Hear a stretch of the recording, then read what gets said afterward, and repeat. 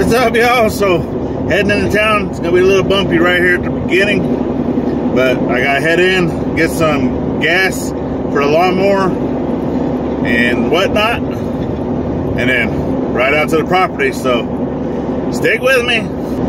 Got a lot more cleanup to do, so we'll see you on the property.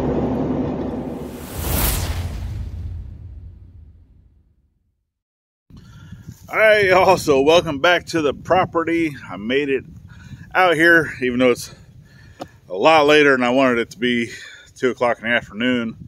But if you catched Wednesday's video, you saw uh, that I had to go through and, and check all the vehicles. Even though, yeah, I know last minute. Hopefully, you guys caught it before being last minute. go to to check your coolant and your antifreeze levels.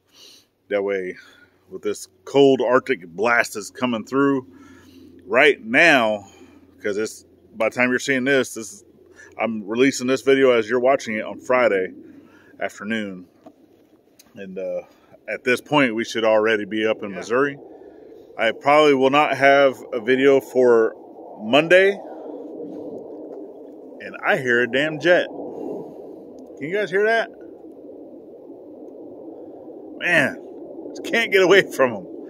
No, I, I do know that there's a National Guard base out here, and they're gonna fly. So it's far far enough away that it's not right over our heads like it was in Virginia Beach.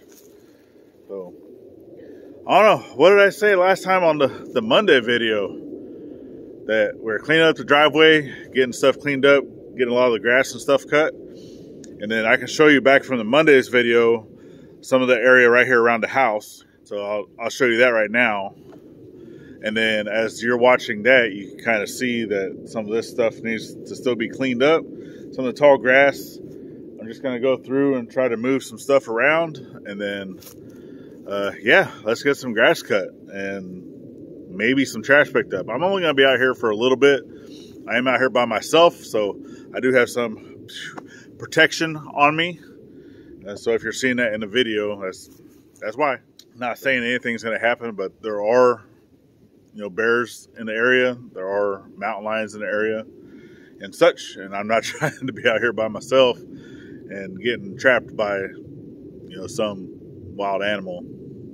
I'm not worried about people right now. Well, you're not here to see me chit chat and talk with you guys. If you want that, you go over to our side channel, The Daily Scuttlebutt with IFF, Ivey's Family Factotum, and that's where you'll get all the behind the scenes slash talking slash bean spillage, maybe. But yeah, go check that out. Links at the end of the video, and I could possibly even throw it up here. At least I'll try.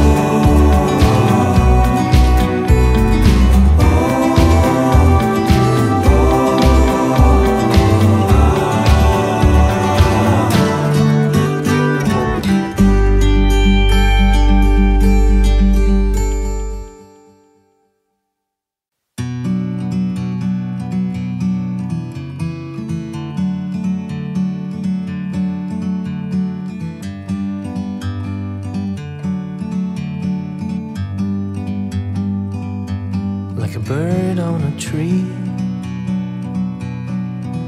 I'm just sitting here. I got time,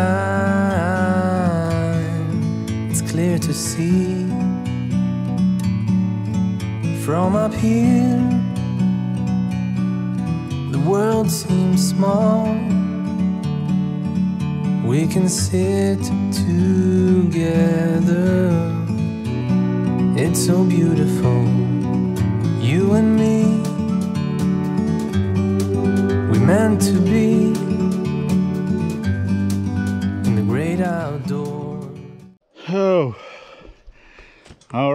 So I got the whole front yard done, the whole backyard. Well, about 90% of the backyard done.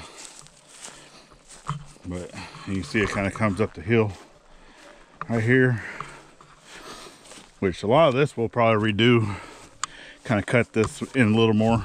But we'll get a pad and everything established. Nice flat pad to build a new house. The new house is basically kind of the same area that this is here, but it's going to be longer than what is currently here. Um, not by much, but I haven't officially brought out, well, I do have tape measure, but I haven't officially measured it. But if I'm a guessing man, it should be coming. See, I didn't cut this side. Pretty close to where there's a fence over here. You can see there's big rocks here. This big cedar that would have to come out. But there's a fence.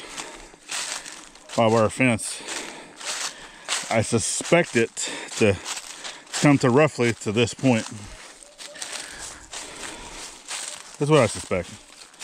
But once we get that knocked down, we'll be able to come out here and get a nice pad put in. Um, might have to hire someone to do that with a bulldozer just to get it nice and leveled because it would take forever to do it by hand. and it would definitely take it forever to do it with my buddy's little tractor. I mean, it could be done, don't get me wrong. But if I got to pay someone to at least come in, do the initial clearing, just to get, because it doesn't, it's not going to require a lot of work. They, they'd probably be able to come in and do this in one day. Um, obviously going to have to work around the well. Because uh, even if it, the house is coming out some, because I want to be able to incorporate where the current well is, as long as it's good, as long as it tests out okay, to leave that in the the build, but it's going to be inside the utility room. So it'd actually be inside the house, which is, it's almost like a little room attached to the side of the house. And uh, we haven't showed you guys our, our final plans of what we plan to do, but that's coming. So definitely make sure that you're subscribed. Click all those notification bells that we're not missing not a single lick of this journey. Because like I've been saying, buckle up, Buttercup. It's getting really real. And we're trying to come out here and do as much as we can every day, as much as we can but it's also holidays and we're about to travel. So uh, as I'm recording this, we actually leave tomorrow. But you guys won't be seeing this until later in the week. But I definitely appreciate you guys. Make sure you're thanking a veteran at every chance you get, not only on Veterans Day.